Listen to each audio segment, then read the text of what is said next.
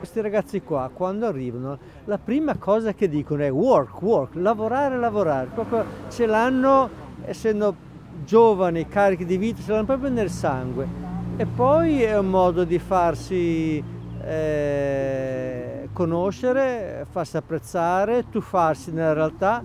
Il lavoro è dignità della persona e queste sono cose semplici, con, con un po' di formazione sono in grado di affrontare. I like work for my city, yes.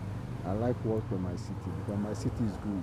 My dream for my future is here in Italy. Italy is very good, so I hope in future to have job. Sono certo si tratta di una scelta che il sindaco più volte ha ribadito, che è una scelta di inclusione, coinvolgimento, io ricordo moltissimi altri, mi, mi viene in mente alcuni che ho seguito direttamente, gli interventi sulla, sulla foce, nella zona di Piazzale Kennedy, insomma. Eh, è una strada da, da, da seguire, insomma, stiamo parlando di gente che è costretta a fuggire da torture, da persecuzioni e quant'altro, il fatto che questi, queste scelte che li coinvolgono si tratta di volontariato, però in questo caso abbiamo avuto un, anche un contributo importante dei privati, delle associazioni, rappresenta sicuramente un progetto e un lavoro che va perseguito e non sarà infatti l'ultimo. Direi che siamo orgogliosi anche di questo progetto. È, frutto di un lavoro sinergico, frutto di coesione, Cronologi che ringrazio davvero di cuore, il CEIS, il municipio, i ragazzi che ringrazio soprattutto.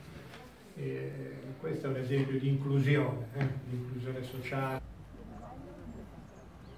Il principio che ha sposato in questo mandato eh, il fatto che l'accoglienza non si deve limitare solo a quello che è in maniera stringente l'aspetto umanitario e, e, che è sempre stato promosso e sostenuto anche dal Comune di Genova, ma deve avere una ricaduta civica forte che è poi quello che chiedono anche i cittadini.